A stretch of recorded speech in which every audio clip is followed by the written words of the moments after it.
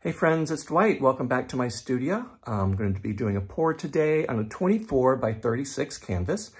And I'm going to be using a repurposed canvas, which means uh, I've already poured on it, but yet it didn't quite turn out the way I had hoped. And so I'm going to reuse it and pour over it again.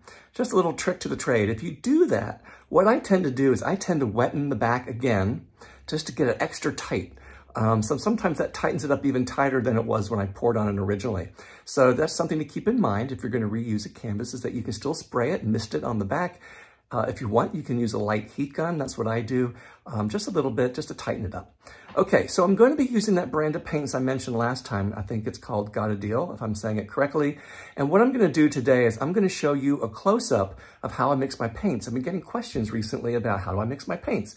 And I often say, if you watch my videos, you know, one part paint, two three parts Floetrol, drizzle, a Liquitex pouring medium, and water to thin. So what I'm gonna do today is just actually show you when I mix one of the colors up, how I do that. So I'm gonna get up, get things set up here in my studio and get things ready, and we'll get going in just a minute. Okay guys, here I am. Um, as you can see, it's my color palette here, and what I'm gonna do is start with one color. So I'll tell you what I have. I have, I don't know if you can see this, deep pearl brown. I have raw umber. I have burnt sienna. And last but not least, I have burnt umber. So what I'm gonna do is I'm gonna start off with the burnt umber and I am going to uh, mix it up for you and show you how I mix my paints. So I don't pre-measure my paints. Now years ago I used to, when I say one part paint, two to three parts Floetrol, that's like a suggestion. It's an idea of what I am actually um, using. I don't, like I said, I don't measure it because um, you can be, you know, you can be generous with that. So that's just a little bit of paint. Um, as you can see, not much in there. I'm going to lighten it up. So I'm going to put some Artist Loft Soft Body White just a little bit to lighten it up. Okay. Again, just a little bit. Um, here's my Liquitex pouring medium. Yeah, I had some paint flying in the room the other day, so it's covered. So I just do a little drizzle. I don't know if you can see that. That's about it. And then, you know, I recycle, so I, I reuse my plastic cups. That's why it's so dirty. But um, this is my Floetrol and it's all strained. And what I do is I just pour it in to probably right about there.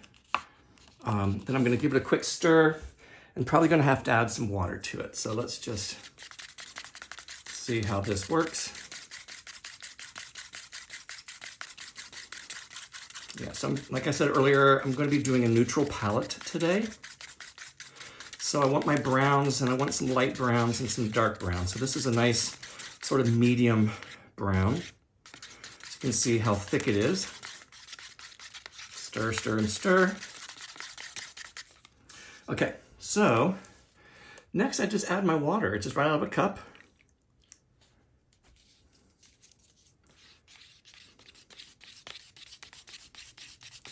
Keep stirring it to make sure it all gets mixed up. The other thing to think about when you're stirring is making sure you scrape the bottom. Sometimes I've left some paint on the bottom and it comes out like a big blob onto my canvas. And that really frustrates me.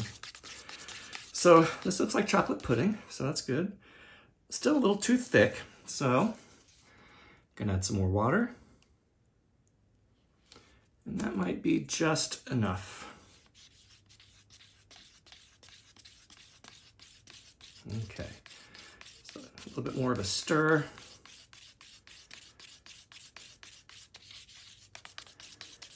And then we'll take a look. Yeah, that's just about right. Can you see that? Basically, it has a very slight mound, but it basically goes in. So that's basically all I do. Um, I don't add any, any other additives to it. And um, yeah, so I'm gonna mix the rest of my paints up. Then I'll show you what they look like when we're done, and um, we'll catch up with you in just a second. Okay guys, here I am. I've mixed all my paints. As you can see, it's a relatively neutral palette. palette.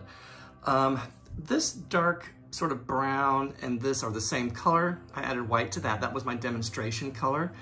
And then this burnt umber, I added white to as well, so it made it sort of this um, lighter brown. Artist Loft Soft Body White, this is the brown pearl, and that's the, um, what is that?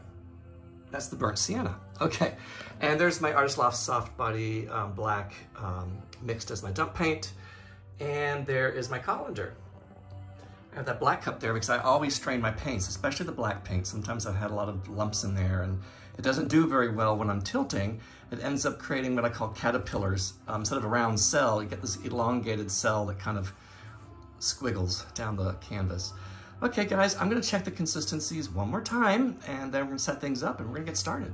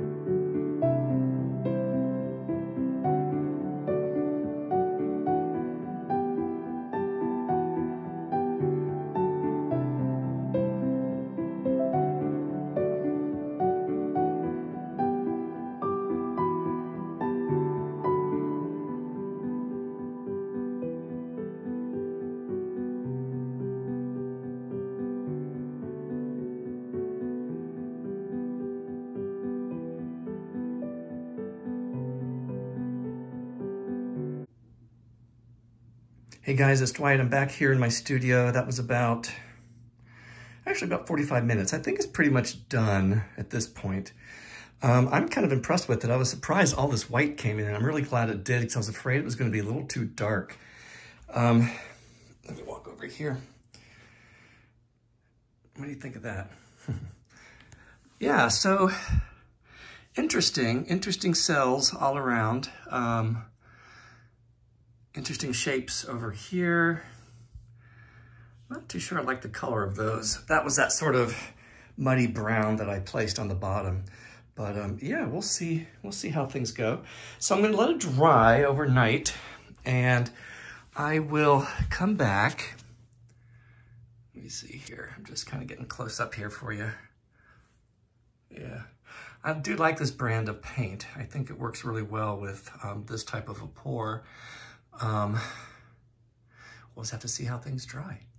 Okay, so what I'm gonna do is I'm gonna let this sit overnight. Hopefully it dries between now and then. And then I'll come back and we'll discuss if I wanna do anything with that muddy paint color there. I might, I might, I might do something. I don't know. Okay, lots to think about. Okay, guys, have a great, um, well, I can say great evening, but it'll be about great five seconds before the next clip comes up. And um, I will show you um, the final results. Okay, guys, it's the next day. Let's see how this looks. Um, welcome to my studio, my small little place, my messy little place, but it's my place. So it looks good. Um, turn the overhead light on. It dried pretty much, it, it, dried like I left it yesterday. So nothing out of the ordinary happened. Um, I was glad for that. Had a few concerns here and there, but I think um, this is great.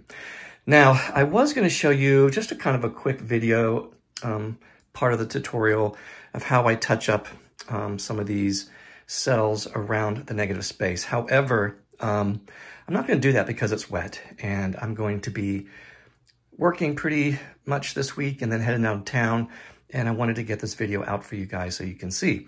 But I will show you what I'm talking about to give you an idea.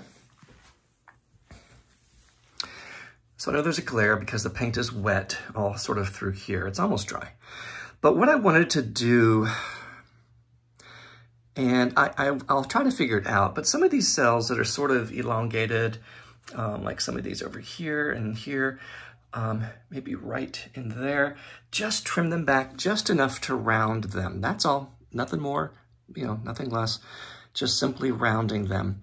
Um, I'm not going to dot any of them like I do sometimes because of the, um, the color and I think it would look like way too obvious. So up against the black, I think this looks good. Um, and gonna leave as is. So like even in here, some of the, see that right in here? I may just sort of round it. And then, yeah, I don't know. We'll have to wait and see because I don't want to do too much. I don't want to make it look too obvious. Um, but I do want to have some symmetry, especially around the negative space. So some of this is fine.